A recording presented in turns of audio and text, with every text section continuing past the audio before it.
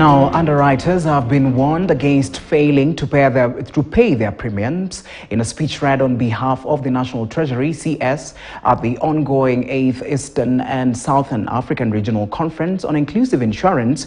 Ndungu noted that insurers who consistently fail to meet the set standards for good business practice should close shop, adding that the unfortunate reputation of delayed or non-payments of claims often overshadows the insurance companies that have have a good reputation. If you have to make microinsurance work or even better, number one, you have to focus on the customer.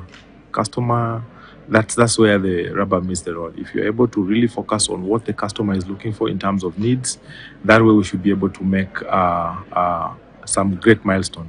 Number two, in terms of uh, partnerships, microinsurance, I think it's very critical for us to really work closely with partners who can really aggregate the numbers. And that takes us to the next point of affordability. I think those key things are very important for us to really make microinsurance work better.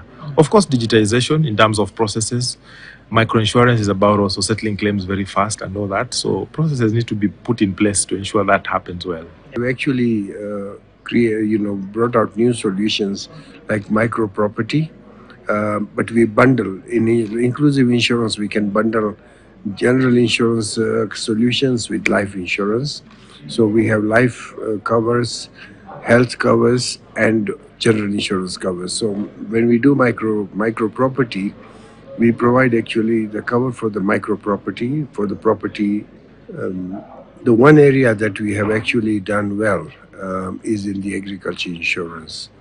What what we have done is, is that we insure smallholder farmers, and the smallholder farmers are insured for the half acre, one acre, up to any anywhere up to four five acres, and uh, it's a seasonal cover that we provide.